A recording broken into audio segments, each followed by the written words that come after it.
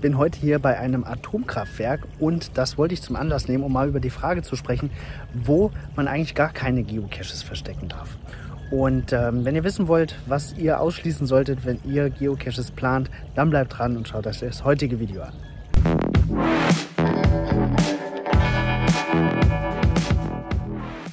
Geocaching ist ein Spiel, was durchaus zu ja, auffällig unauffälligem Verhalten führt. Und deswegen sind Anlagen, die unter besonderer Beobachtung von Sicherheitsbehörden stehen, ausgeschlossen, wenn es darum geht, einen Geocache zu verstecken. Dazu zählen auf jeden Fall sämtliche Bahnanlagen, also Gleise, Bahnhöfe und so weiter, Flughäfen, Staudämme, Autobahnbrücken, Krankenhäuser und ähnliches mehr. Wenn ihr vorhabt, einen Geocache zu verstecken, dann nehmt solche Liegenschaften auf jeden Fall raus.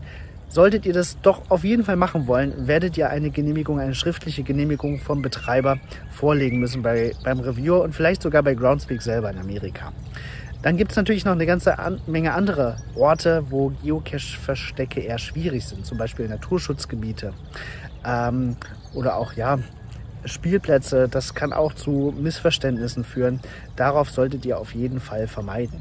Es gibt eine ganze Menge regionale äh, Begeben ähm, ja, oder Ge Gesetzgebung, wie zum Beispiel auch äh, archäologische äh, Ausgrabungsstätten, die sind auch manchmal sehr sensibel und da sollte nichts versteckt werden. Ähm, die genauen Richtlinien sind von Land zu Land unterschiedlich und ich werde die euch hier mal in die Videobeschreibung reinkopieren. Also, wenn ihr Fragen habt, ob ein Geocache versteckt werden kann an dem Ort, den ihr euch vorgenommen habt, dann schreibt es gerne hier in die Kommentare oder schreibt uns direkt an oder sprecht mit eurem lokalen Reviewer, die werden euch dazu sehr viel mehr sagen können. Nicht jeder Ort eignet sich für einen Geocache, Atomkraftwerke definitiv nicht.